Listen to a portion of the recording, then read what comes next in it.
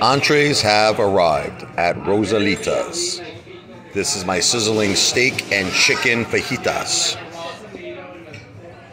Very, very nice. My wife's having the uh, buffalo chicken. That looks really, really good. Look, my wife loves Mexican food. This is her favorite thing in the world. She deserves a little treat.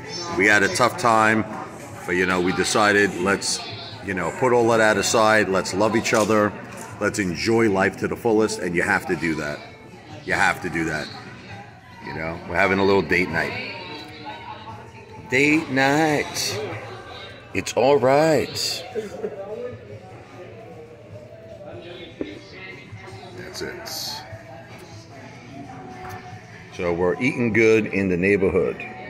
And that steak looks really good. Let me see that. Savage style here. Mmm. Mmm.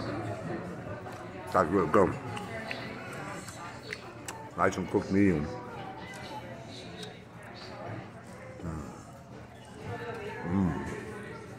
Really delicious. Little chicken. Mmm, hot. Mmm. Really good.